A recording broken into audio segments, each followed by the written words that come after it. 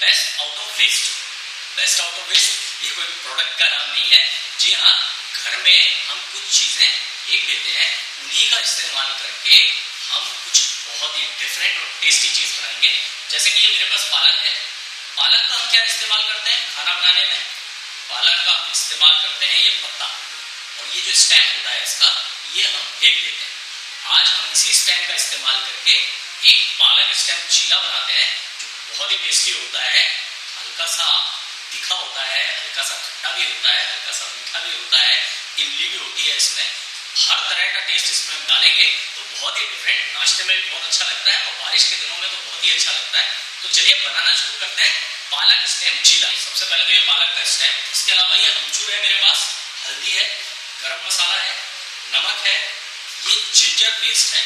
Ginger paste यानी अदरक का पेस्ट अदरक लहसुन का पेस्ट नहीं यूज़ कर रहे हैं केवल अदरक का पेस्ट अजवाइन है, थोड़ी सी कसूरी मेथी डालेंगे हम फ्लेवर के लिए, बेसन है, थोड़ी सी शक्कर शुगर एकदम नाम के लिए, थोड़ी सी शक्कर भी डालेंगे, और ये मेरे पास है इमली का पल्प फ्रेश इमली का पल्प इसके अलावा हींग है।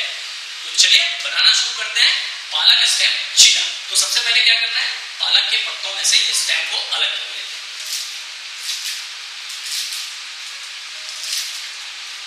ये स्टेम कट करने के बाद क्या करना है एक ग्राइंडर में ये स्टेम डाल के इसको अच्छी तरह से ग्राइंड कर लें, ताकि इसका जूस जो है वो बाहर निकले।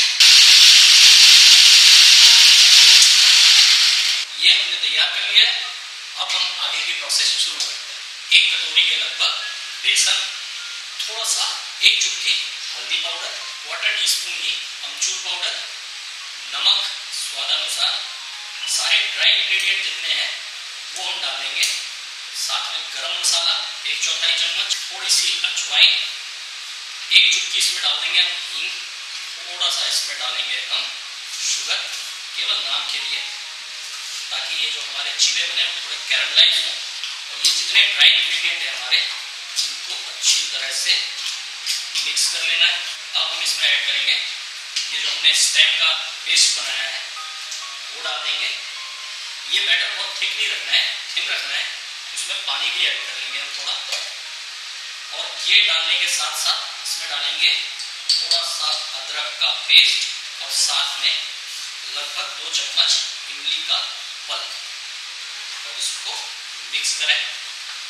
ये जो बैटर हमें बनाना है, जैसा डोसे का बैटर होता है, और इसको अच्छी तरह से मिक्स करना है, ताकि सारे इंग्रेडिएंट आपस में इवेनली मिक्स हो जाए। तो इस कंसिस्टेंसी का बैटर बना लें। और अब आगे की प्रोसेस शुरू करते हैं।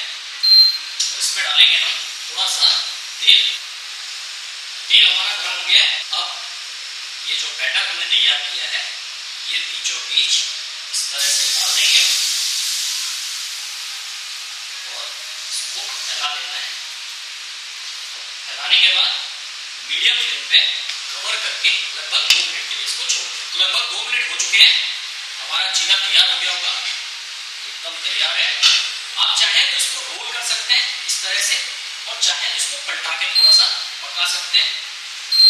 तो इसको थोड़ा सावधानी से पलटाएँ पलटा के दूसरी तरफ़ से भी पकाएँगे, ढक आप चाहें तो इसको रोल भी कर सकते हैं थोड़ा सा अगर ज़्यादा क्रिस्प कर लें आप नीचे से तो उसके बाद आप इसको रोल कर सकते हैं और ढक के पकाएँगे तो स्टीम से बेसन और पालक दोनों पक जाते हैं।